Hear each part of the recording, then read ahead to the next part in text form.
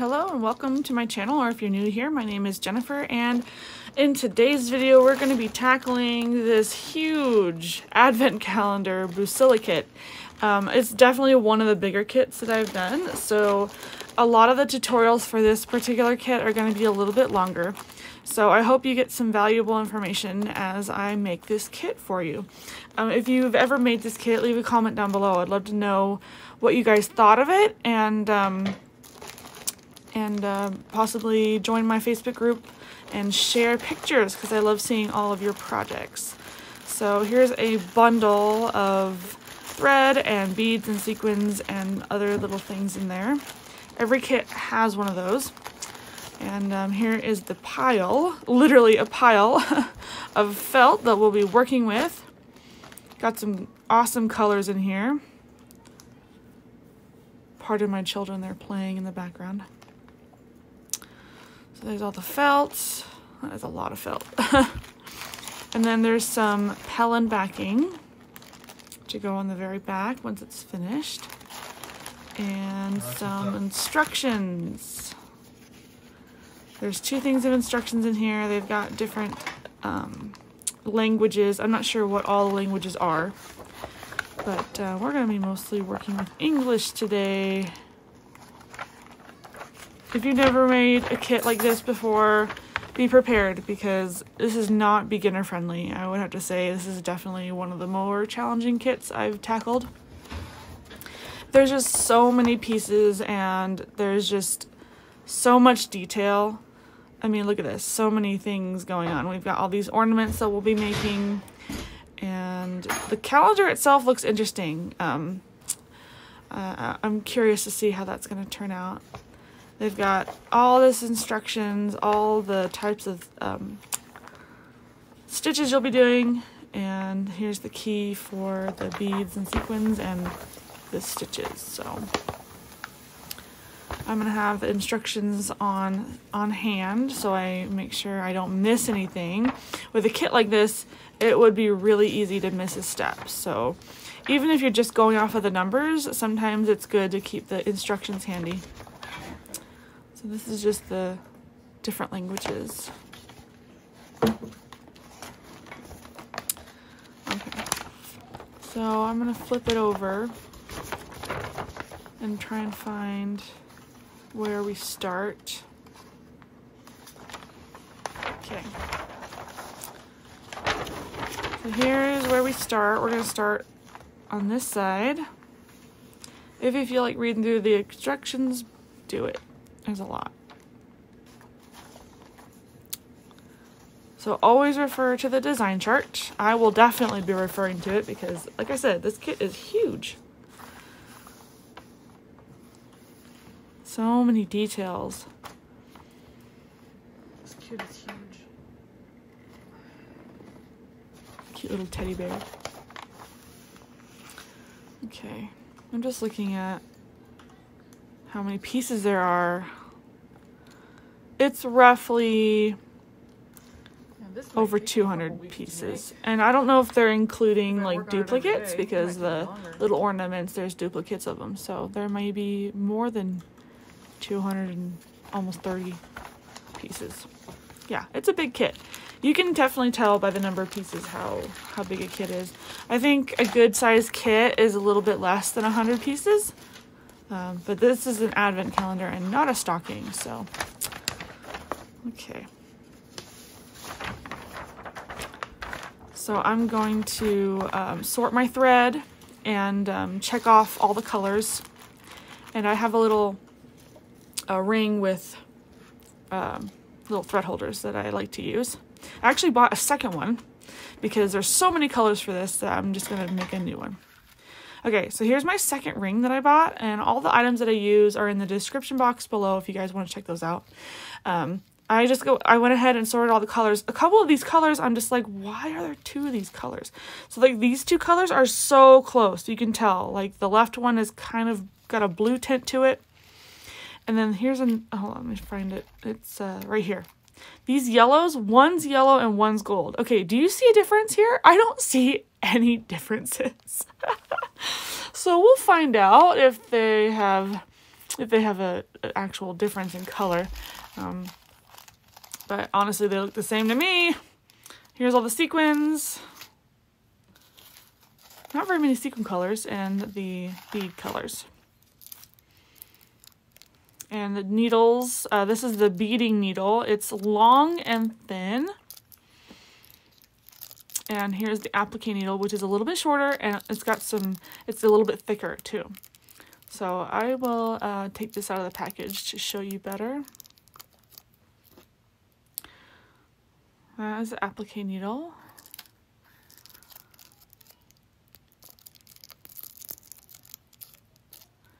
And the beading needle.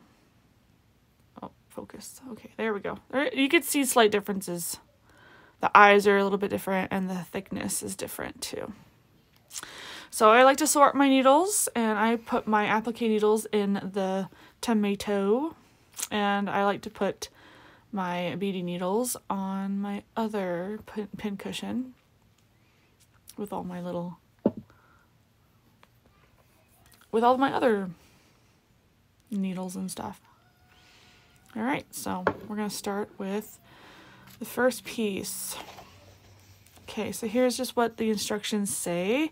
I'm not going to read them all because um, there's a lot. So I'm just going to literally show you step by step.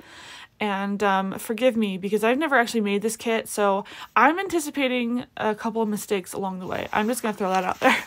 Disclaimer. I've never made this kit before. So this is definitely going to be a challenge. So we're going to find the first piece and here it is. It's on the, it's like a burgundy color felt.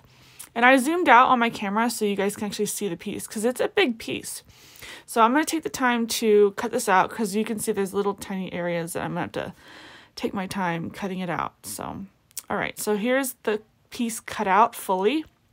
Excuse my mess. My floor is a mess. um, I'm in my bedroom right now, so. Okay, so we're to start with the, I think this is like a what is this? It's a back stitch. Yeah, we're gonna do back stitch.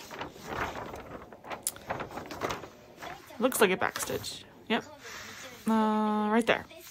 Yep. So we're gonna do um, four strands.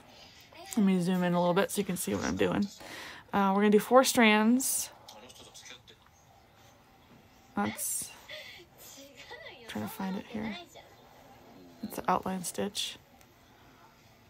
Mm, right there. Yep. Four strands of light brown. Yep, that's what we're doing right there. And we're doing the back stitch.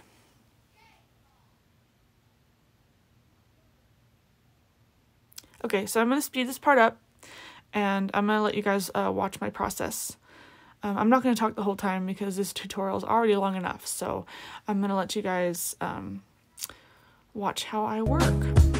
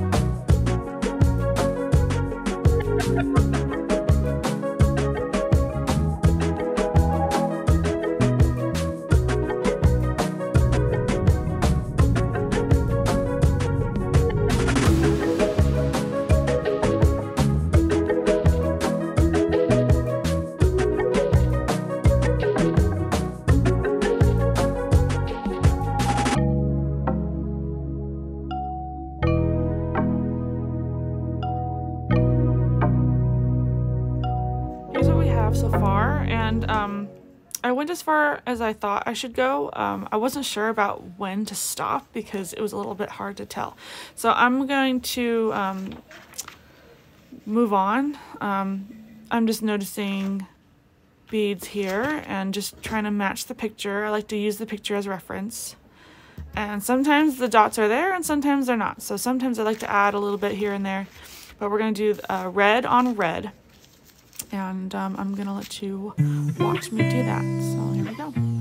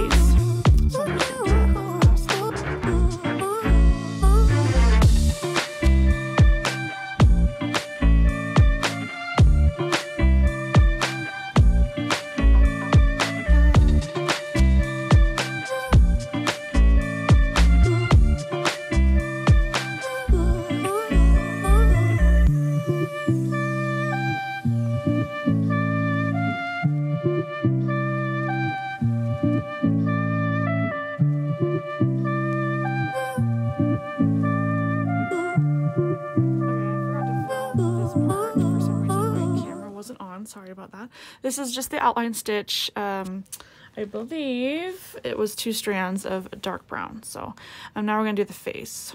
And I'm just going to quickly do the face for you. The little dots are two, or no, no, one strand. I think one strand of black. Yeah, one strand of black. And these are just a bunch of French knots. And if you don't know how to do French knots, I do have a separate tutorial that's a little bit more detailed on it. But um, this is pretty much how you do a French knot. So, yeah. And you go all the way around. And, um, and then we're going to do the little uh, hands for the clock. And my French knots aren't perfect, but they get the job done. So I finished all my French knots, and I'm going to add detail to the. Sorry, I'm trying to look at what I'm doing, and I'm not in the camera. Um, I'm I'm outlining the um, clock hands, so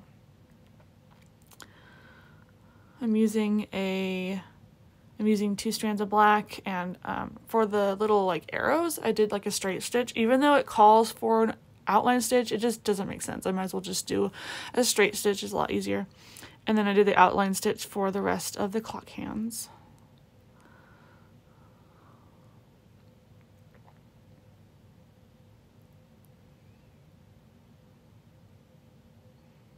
yeah there's one hand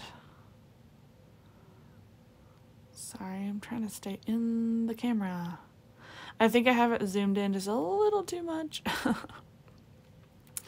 Still working my uh, camera skills here. So yeah, I'll just do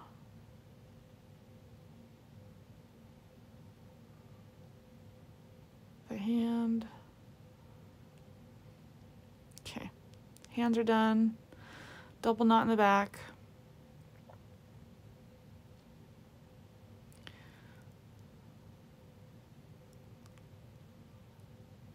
Okay, I gotta make sure that it's facing the right way.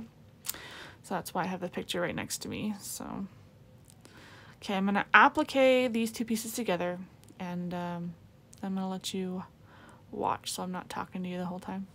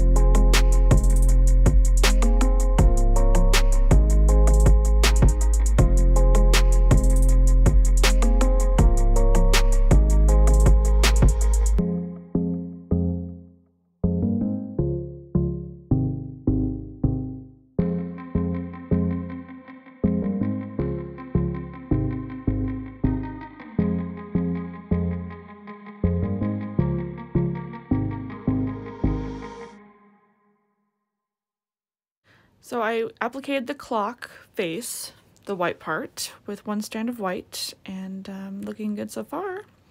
So now we're going to look at, I think we're going to do the top part right here. I'm not quite sure. I have to make sure I look at the instructions.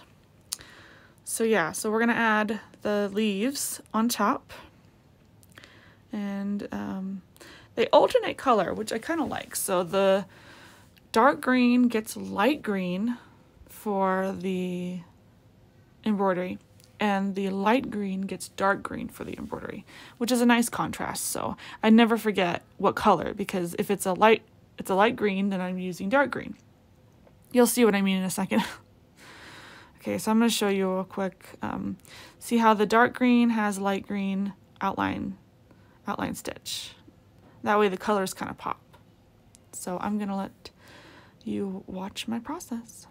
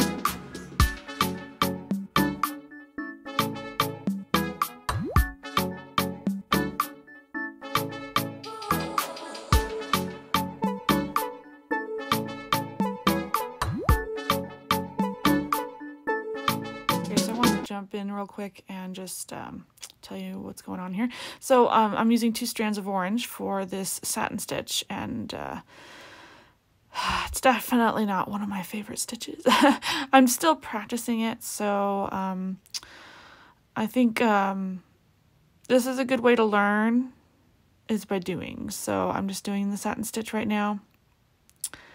And um, this is for the little candle flames.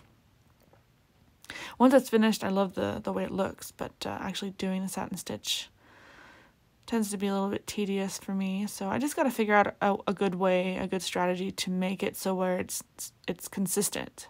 That's the that's the real challenge of a satin stitch is to make sure it's all consistent and when you're done, it doesn't look like you've got gaps. So I I like to go from the middle outwards. Um, I find that's a little bit easier, but I'm still looking for a better method. So bear with me.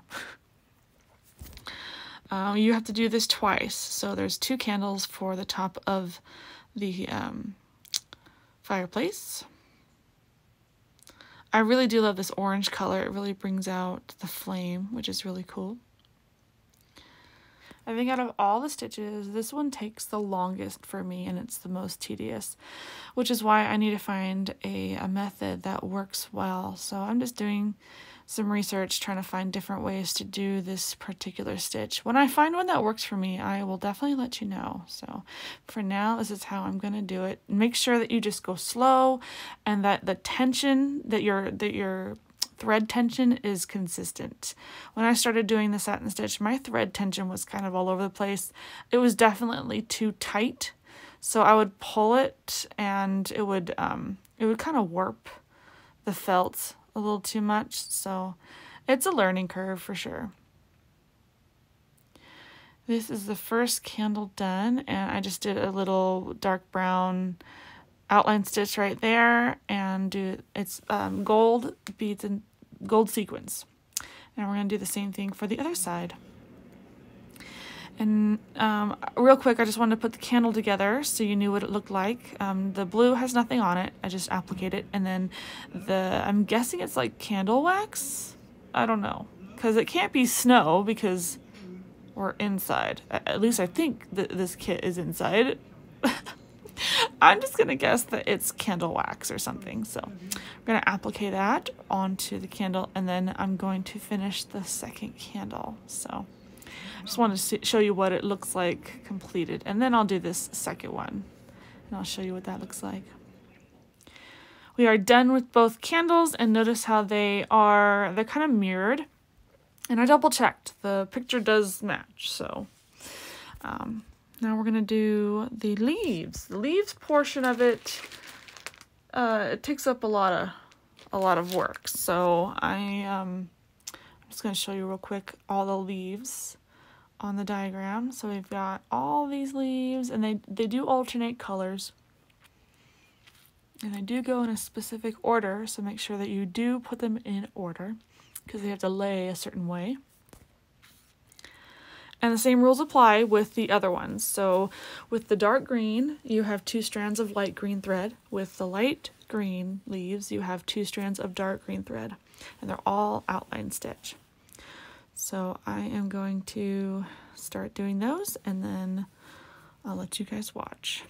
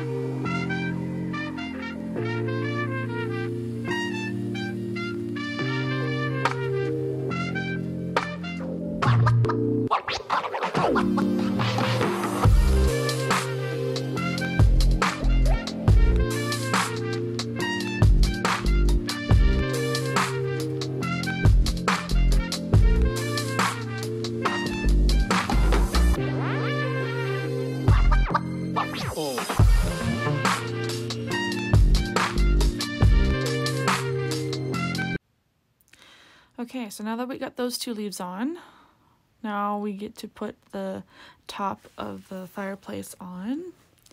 And um, there are a few embellishments. Um, there's this line and then these beads. So I'm just going to go ahead and do that real fast. Those are outline stitch and the beads. And they're fairly quick. And then once you do that, we're going to applique the piece onto here.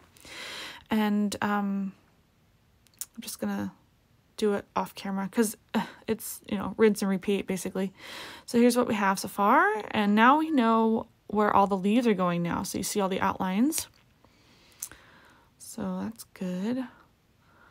Um, I'm not going to show you every single leaf because again, it's time consuming and it's basically rinse and repeat. So what I like to do with the leaves is when they hang, I like to just applique the end, like the base of them so they have a cool 3D effect. And then once the leaves are laid down, um, then the berries go down. So I am, again, the order is very important here because you think all the leaves would go down first and then the beet and then the beet the berries but as you can see, I've already put berries down and I don't applique the berries. I just attach them with a bead and sequin.